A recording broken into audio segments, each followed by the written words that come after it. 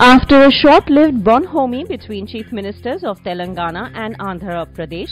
Chandrababu Naidu's return to Hyderabad after a gap of three months is all set to turn the clock around while the TDP is hoping Naidu's popularity among Andhra voters in the city will help them win the upcoming GHMC polls, top Telangana Rashtra Samithi TRS sources said the party will now turn the screw on the cash for vote case in which the chief minister is implicated.